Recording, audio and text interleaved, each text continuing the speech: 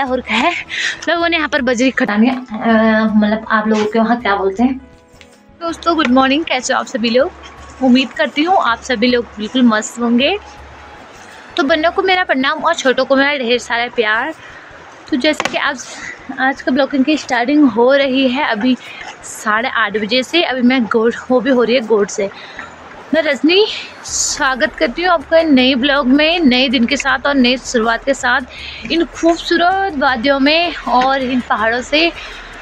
तो दोस्तों, जैसे कि आप सभी को पता है, आजकल जो है पाला बहुत गिर रहा है और ठंड के मारे मतलब हमारे वहाँ तो बहुत ज़्यादा ठंड होती है।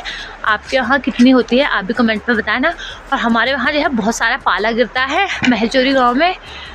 तो चमोली का एक छोटा सा हाँ, जो है गाँव है चमोली डिस्ट्रिक्ट का एक छोटा सा गाँव है वो है महलचोरी का गाँव और हम धारकट से बिलोंग करते हैं वैसे। तो दोस्तों यहाँ ना बहुत ज़्यादा ठंड होती है उधर वाले गाँव में धूप आ गई है पर लगभग हमारे वहाँ अभी नहीं आते साढ़े दस बजे तक यहाँ धूप आती है। और जहाँ गाय भैंस बांधते हैं दोस्तों अभी तो मैंने बाहर बांधी है यहाँ धूप भी नहीं आई हुई है। हम जाएँगे बाँस लेने के लिए इस, इसलिए तो इनको बांधना पड़ेगा। अगर हम बहुत देर में लेट में आते हैं, बारह एक बजे या साढ़े बारह बजे, किसी दिन साढ़े ग्यारह बजे आते हैं, जिस हिसाब से हमें वहाँ घास मिलेगा, बाँस घास मिलता है, उस हिसाब से हम आ जाएँगे। पर दोस्तों, जहाँ पर हम बाद में गाय भैंस बांधते हैं, वहाँ का आपको नज़ारा दिखाऊँगी कि पालक कितना गिरा हुआ है। तो आओ बने रहिए मेरी वीडियो के साथ। वीडियो अच्छा लगे तो कमेंट करना और नए हो तो चैनल को ज़रूर सब्सक्राइब करना, और वीडियो में बता बताते रहना कि वीडियो कैसा लगा आपको, ठीक है? कमेंट करके बताना, ओके? तो मैं आपको दिखाती हूँ यहाँ का नज़ारा, और जहाँ हम बास जाएँगे, वहाँ का भी पूरा दिनचर्या आपको दिखाएँगे, ओके?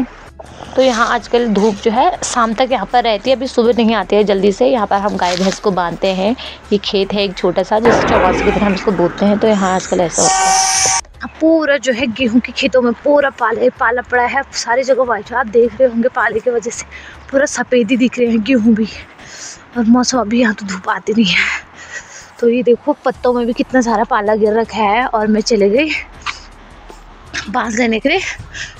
तो इस पुल को हमें पार करना होता है। नदी का बहाव भी आपको दिखाऊँगी। आजकल कितना है। ये वाले खेतों में देखो तो कितने ज़्यादा पाला गिरा है ना। गेहूँ कैसे हो के बिल्कुल।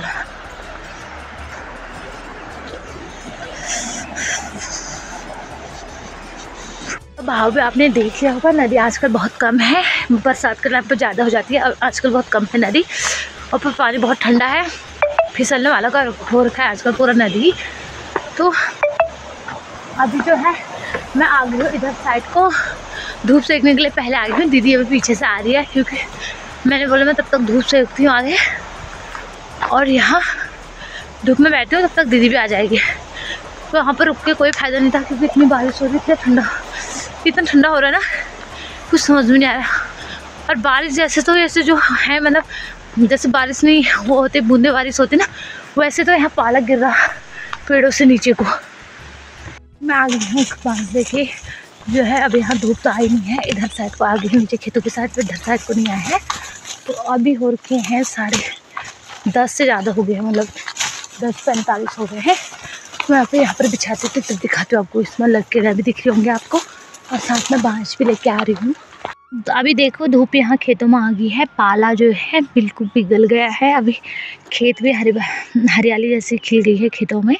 और सुबह आपने देखा होगा, पूरा सफ़ेद सफ़ेद जो है हो गया था। जो है बिछा रखा है अभी। और भारी का पूरा कहता है कैसे फेंक रखा है, ऐसे कुछ इस प्रकार फेंका है। उसमें ना साथ में लकड़ियाँ भी देख सकते हो आप, ऐसी लकड़ियाँ और साथ में बाँझ दोनों साथ में हो जाते हैं। यानी कि गाय खाती है, गाय भैंस खाते हैं। तो ठीक है, नहीं खाते हैं तो लकड़ियाँ भी, बाँस भी और पत्ते भी तीनों साथ में हो जाते हैं, है ना? एक काम से तीन तीन शिकार, वही मतलब एक काम करके आते हो तो तीन चीज़ हो जाती है, लकड़ियाँ भी, बाँस भी और साथ में पत्ते भी हो जाते हैं उनको बिछाने के लिए। अभी चलते हैं घर, फिर दिखाते हैं वहाँ का नज़ारा। घर घर आके मैंने कर दिया है दक्षु की मालिश। अब इसको छोड़ के आती हूँ दुकान, है ना? इसको छोड़ के आती हूँ मैं दुकान और फिर उसके बाद खाना खाना बनाने का टाइम हो जाता है। हाय बोलो। हाय बोलो। हाय हाय हाय आ जाओ। अंशु हमारी एक साल और दो महीने की हो गई है। हम आ रखे हैं नदी में और अभी शाम के साढ़े चार बज गए हैं और माही उधर पत्थर लेने गई है। मैं नदी के पास मेरा घर है और मेरे को डर लगती है नदी से और माही को डर नहीं लगी। माही बीच नदी में चली गई पत्थर लेने और मैं साइड से मैंने अपने पत्थर का कट्टा जो है भर दिया है। और अब हम ले जाने वाले हैं। अब माही भी इधर से आने वाली है पत्थर लेके। ये पत्थर हम तोड़ने के लिए ले जा रहे हैं जो कि क्या बोलते हैं इसको गोटी? कंक्रीट को क्या बोलते हैं? कंक्रीट तोड़ने का काम आएगी। इसीलिए ले जा रहे हैं। और ये माही मेरी दीदी की बेटी है सबसे बड़ी वाली दीदी की बेटी है। हाय बोल दो भाई हाय गाइस तेरा तेरा सहरा पे साफ़ नहीं आ रहा है क्योंकि तो ऊपर बैठ रखी है। तो चलते हैं अब घर फिर इसके बाद और आना है हमें। दो चार राउंड तो मारने पड़ेंगे है ना भाई? हाँ डन डन हाँ हाँ। और नदी का बहाव तो आजकल बहुत कम है। और उस वाले पत्थर जब बरसात का टाइम होता है तो उस वाले पत्थर को पूरा भर जाता है उतनी नदी आती है। अब माही को शौक लग गया क्योंकि नदी इतना पास है है ना माही हाँ डन। माही उनके वहाँ नदी बहुत दूर है। माही नदी नहीं देगी ठीक है तो चलते हैं हम। हमने कट्टे भर दे माही ने भी अपना कट्टा भर दिया। आप चलते हैं घर के लिए। और एक दो राउंड और आएँगे। ये फिर से चलेगी बेकूगढ़ की। इसको पता ही नहीं है कि कितने ठंड हो रहा पानी मेरे को तो बहुत ठंड लग रही है। मैंने तो जो है जुराबे वराबे सब पहने हैं इसमें पहने अगर आटे को यहाँ डाल दो तो फ्रिज की ज़रूरत भी नहीं पड़ेगी। आटे को आज करिए यहाँ पर रखने वाले हैं। तो अगर आटा बच जाएगा आप लोगों का आटा बच जाएगा तो यहाँ ले आना। यहाँ नदी के बीचों बीच रखेगी माँ ही नेगी। मैं तो नहीं रखूँगी। इसको फ्रीज की ज़रूरत आजकल वैसे भी फ्रीज की ज़रूरत नहीं पड़ती है आटे को। चलो माही। तो दोस्तों, हम एक, जो है, एक बार चले गए हैं, घर छोड़ के आ गए हैं पत्थर, और दूसरे राउंड जा रहे हैं हम। और नदी का रास्ता देखो, नदी, और घर में कितना फासला है, थोड़ा बहुत है, इतने से, और इतना में नदी आने वाला है। आपको पता चल जाएगा। माही आगे से लगी है, और माही मेरे से बड़ी होगी, अभी तेरह साल की है माही, और मेरे से लंबी हो है, पता नहीं क्या खिला रही है इसके मम्मी।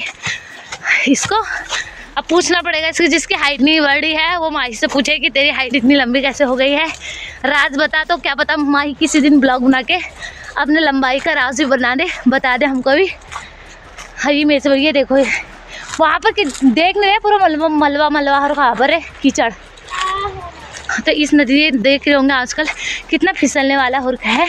लोगों ने यहाँ पर बजरी इकट्ठा कर रखी है, पर यहाँ पर जो है पत्ते पत्ते गिर गए हैं, और नदी के आने की वजह से यहाँ पर लोगों के कपड़े कपड़े हैं, टगे हुए हैं। और जब नदी आई होगी तो किसी की थाली बह के आएँगे तो यहाँ टूट टाट के, जब हमारे वहाँ पहुँचे, टूट टाट के पहुँचे आई थाली और कपड़े फटे फूटे। और यहाँ पर जो है मिस्टर जी ने यहाँ पर बजरी निकाल के यहाँ पर रखी है, वहाँ से या वहाँ से? वहाँ से उस वाले कोने से यहाँ लेके आ रखे हैं। ये फिर से वहीं चले गए, अपने स्थान पे और मैं चले गई। अपने स्थान पे मैंने यहाँ से पत्थर भरने ही और माही वहाँ से भरेगी माही वहाँ से भर ले। वैसे पत्थर वहाँ पर हो के उस वाले बीच में, पर वहाँ जो है बीच में से नदी है तो मुझे नदी से बहुत डर लगती है मैं तो कभी जाती नहीं हूँ। और तब मैं यहीं से देखूँगी और ये देखो इसको फिसले की माहू इधर आ। ए लड़की वहाँ पर बहुत गहरी नदी है इधर आ। मेरे को डर लगती। ये कट्टा कट, कट्टा बहराने का विचार है क्या? बह जाएगा अभी। अरे मेरे को इसलिए डर लगी तो बह जाएगी अभी तो मेरी ज़िम्मेदारी है। अभी ये वहाँ से आ रखी है तो अभी तो मेरी ज़िम्मेदारी होगी। तो माही अपना कट्टा जो है भरने बैठ गई मैं भी भरती हूँ। आप आनंद लो इस नदी के नज़ारे का। ये वहाँ से, और वो वाला पुल है जहाँ सुबह घास लेने गई वो वहाँ से है, वहीं पर दिख रहा है आपको। तो वो वाला पुल उधर जाने का है। अरे माही पत्थर गिरा रही है रास्ते में, हम लोग नदी से पत्थर उठा रहे हैं और इसको वहाँ बीच में डाले हैं। बाद में पत्थर नहीं मिलेंगे माही। अभी इतने, इसको अच्छे से भर ले और घर के लिए इस्तेमाल कर। तो दोस्तों हम नदी से घर आके घर आके मैं गोट से ले गई थी। गोट से गाय भैंस को ना घास वास दे के अभी आ गई घर। हम्म, अभी मैंने गेठी उबालने के लिए रख देती हूँ। इसको गेठी बोलते हैं। अब पता नहीं मतलब आप लोगों के वहाँ क्या बोलते हैं? कमेंट में बताना आप इसको क्या बोलते हो? आलू के तो इसको उबालना पड़ता है। फिर बहुत अच्छा इसका टेस्ट जो है गर्मी मतलब आलू ठंडा होता है ये गर्म होता है। फिर मैं मायके से लाई थी। पापा के लिए शुगर के लिए बहुत अच्छा होता है, गर्म है ना? और डिलीवरी वाली औरत के लिए भी बहुत अच्छा होता है। ये गर्म होता है, सर्दी में खासकर खाया जाता है। तो अभी मेरे छब्बीस बज गई, मेरी मीटिंग भी स्टार्ट होने वाली है। तो उसमें, उसी बीच में मैं खाने की तैयारी कर लूँगी। जितना नहीं कर पाऊँगी, उतना मैं ब्लॉग में आपको दिखाऊँगी। दोस्तों, देख सकते हो आप, दक्कू को, दक्कू ने ना जो सोफे के वो होते हैं ना कुर्सी तो उस कुर्सी के कवर निकाल के उसमें सोनी बैठ की है। और यहाँ पर लेटने के यहाँ से ड्रामा जैसे कर रही है। ये देखो आप इसकी हरकतें, मेरी छोटू की हरकतें। जी। दोस्तों, हमारे खाना खाना सब खा लिया है और अब जो है, आज को वीडियो को यहीं पर समाप्त करते हैं। तक को देखो मेरी। अभी तक तो सोने वाली है नहीं, आज इसके पापा नहीं है, यानी कि उसके पापा ना देहरादून गए हैं आज। तो मुझे लगता है आज ये पूरा परेशान मुझे ही करने वाली है। रात भर देखो कैसे देख रही है, टुकुर टुकुर करके सुन रही होगी कि मम्मी क्या बोली है। तो अभी जो है, हमने सब खाना खा दिया माँ ही नीचे सो रखी रिया उनके घर और दादा अपने रूम में, अनु के, अनु दादा के साथ सो रखे दक्कू के, दक्कू मेरे साथ सो रखे हैं। तो आज की वीडियो को यहीं पे समाप्त करती हूँ। वीडियो अच्छा लगेगा तो प्लीज़ चैनल को सब्सक्राइब करें लाइक करें, ज़्यादा से ज़्यादा शेयर करें अपने दोस्तों के साथ और चैनल पर नए हो तो सब्सक्राइब ज़रूर करें ओके तो गुड नाइट आप सभी को ओके बाय